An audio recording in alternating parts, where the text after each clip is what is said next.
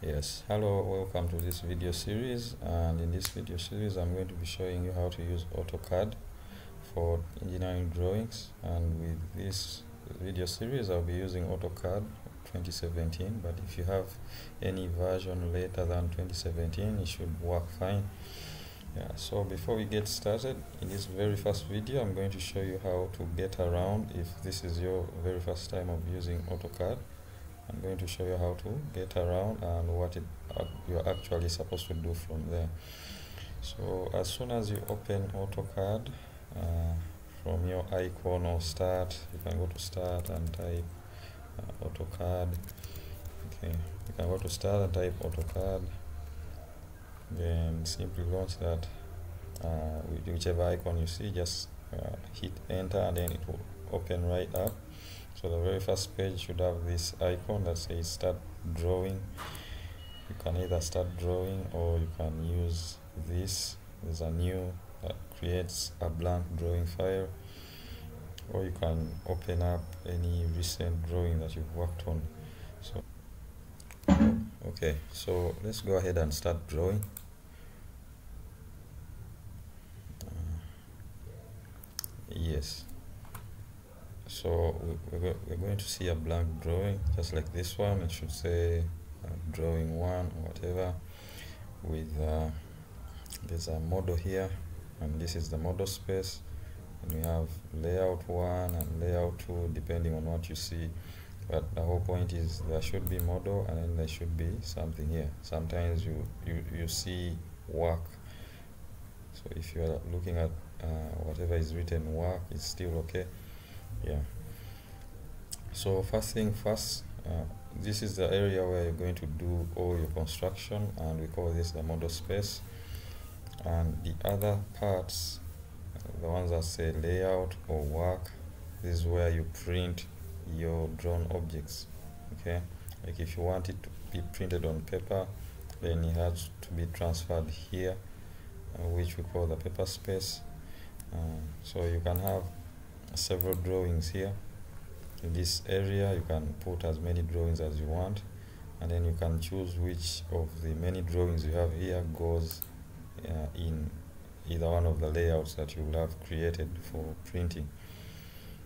Okay so first things first before we start uh, any actual drawing we have to first set the units of measurements that we want to use either inches or millimeters so that's what you're going to do. So simply type units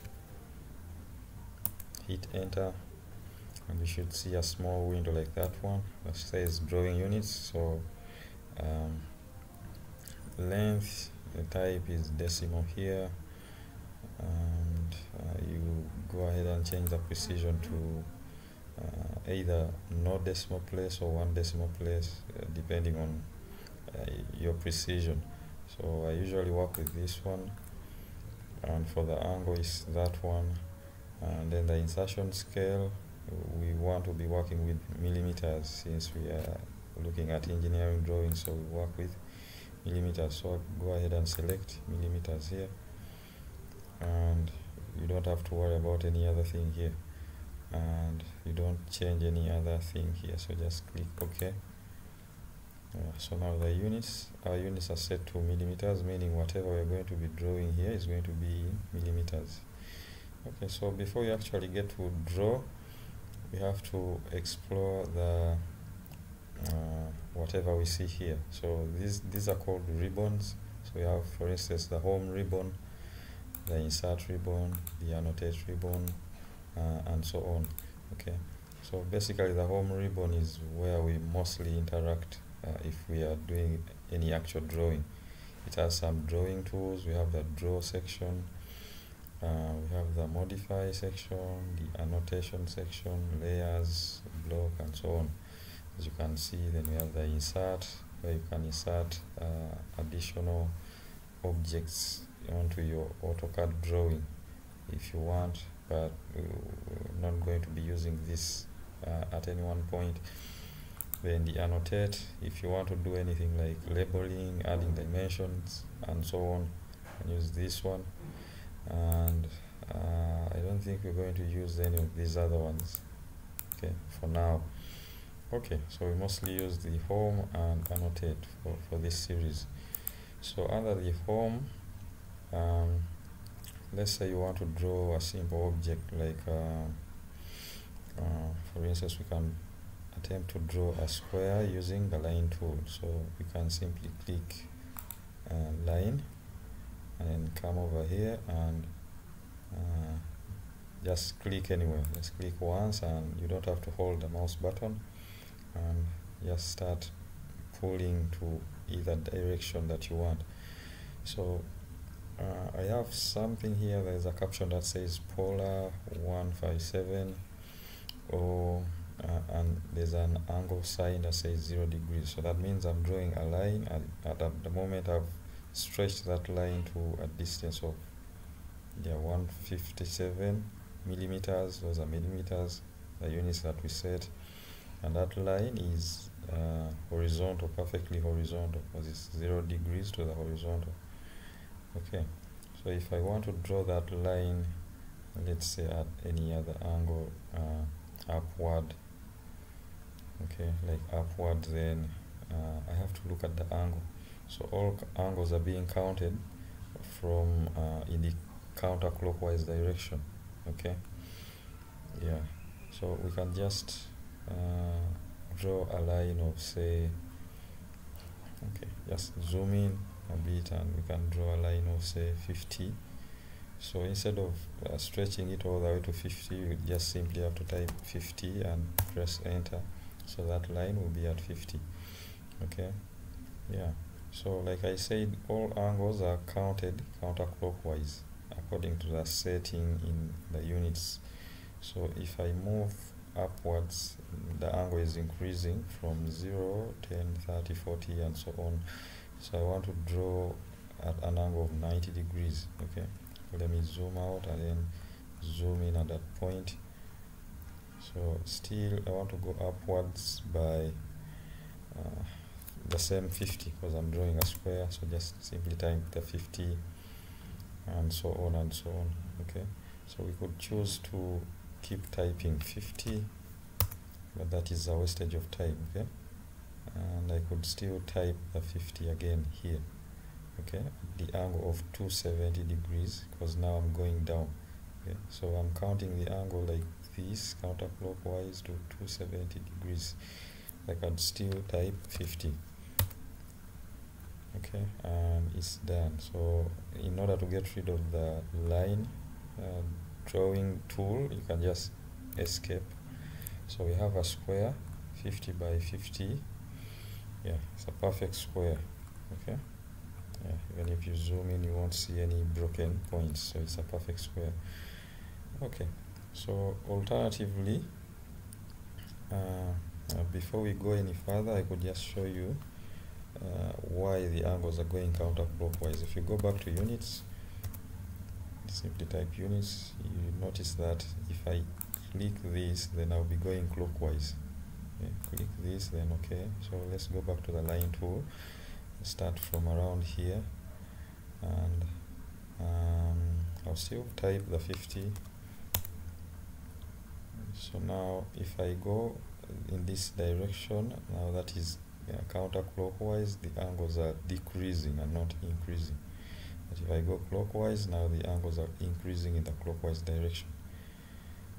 Okay so yeah I'm going to go ahead and um, escape. Okay so let me get rid of this as well. So let me go back to uh, units and set it to the default because I'm kind of used to the default setting. Okay so now another way of drawing the uh, this the square is if we could use uh, if we could just track the lines. So again I'll draw the line stretch it out by 50 just simply type 50 then going upwards I'll still type 50 uh, now instead of typing 50 again I just have to track this point with some point here. Click and then uh, click there. Okay so now we can just escape there. Okay so we can use the measure tool to make sure it's actually uh, the size that we want. So if I measure from there to there should say 50 okay? That distance is 50 so if I measure again from here to here that distance is also 50 okay? So yeah I believe that is a square. We don't need to measure this and this because it's already 50 like we typed in the keyboard so now that is one way of drawing a square. So alternatively you could use the rectangle tool. There's a tool here that says rectangle. If you click the, the drop down button you would see polygon or rectangle but we are choosing rectangle. So simply click rectangle and click here. Click any point and drag out uh, a square or something. Uh, now you notice somewhere here this is what we call the uh, command window. Uh, it says specify the other corner point uh, or area or dimension or rotation. So we could simply click dimension or specify by area but we're going to do it by dimension.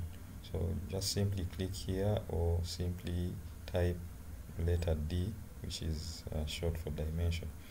Okay just type D and press enter. Now in the command window we have specify length of the rectangle. So uh, the moment our rectangle tool has disappeared okay momentarily so it's okay. So now we want that rectangle to be 50 in length and 50 in width. So simply type 50 enter specify the width. The width is also 50 enter.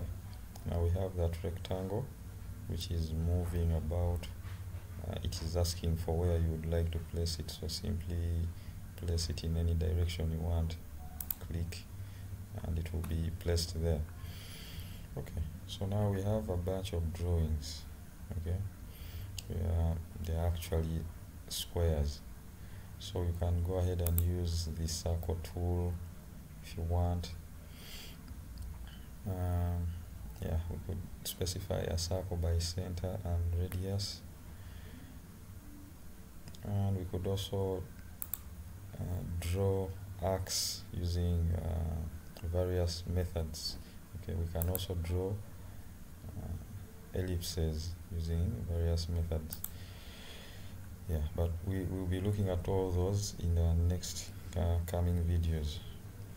Okay so yeah uh, and in the upcoming videos I'll show you how to visualize whatever you've drawn here in the paper space okay? Because we have the model space over here and the paper space over here.